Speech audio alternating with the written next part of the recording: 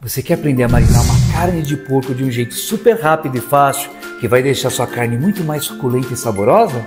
Então, vem comigo! Mr. Cats Receitas, cozinha na prática. Como marinar uma carne de porco de um jeito fácil e rápido. Marinar carne de porco faz com que ela fique muito mais suculenta e saborosa. E o que você vai precisar para fazer essa maravilha? Fotografe a receita.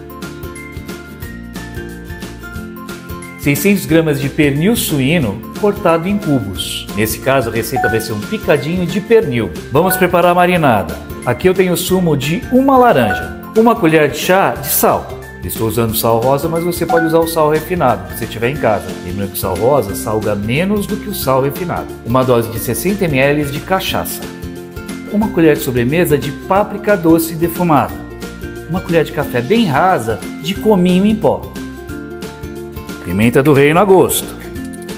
Aproximadamente duas colheres de sopa de azeite extra virgem. E vamos misturar essa maravilha. É tudo muito rápido.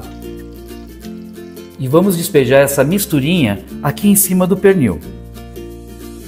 Dá uma mexidinha para se certificar que toda a marinada está envolvendo cada pedacinho de carne aqui dentro. E vamos tampar e levar para a geladeira por no mínimo 3 horas. Agora, se você deixar de um dia para o outro, fica melhor ainda. E se ficar 24 horas, mamma mia!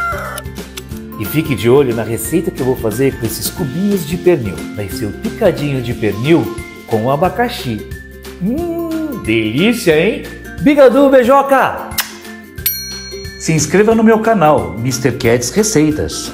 Curta e compartilhe.